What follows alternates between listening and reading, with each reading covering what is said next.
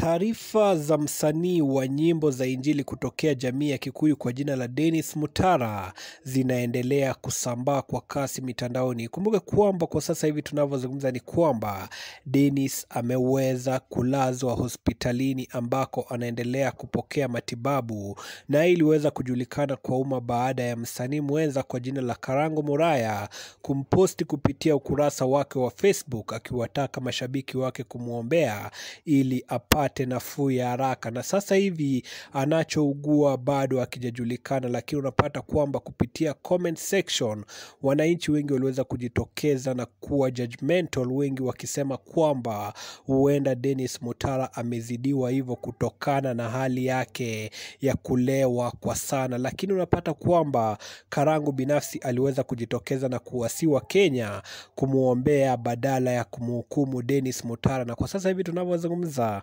anaendelea kupata matibabu katika mojawapo ya hospitali, na bila shaka sisi kama Vic Dimples tunafuatilia taarifa hizi za Dennis Mutara, na chochote kile ambacho kitakuwa kinajiri tutakuwa tunakupa updates. Tunamwombea Dennis Mutara akaweze kupata nafuu ya haraka. Fanya jambo la busara la kusubscribe kwenye channel ya Vic Dimples ili uwe wa kwanza kupokea taarifa zetu pindi tunavyozi upload, na bila shaka you will be updated, au sio?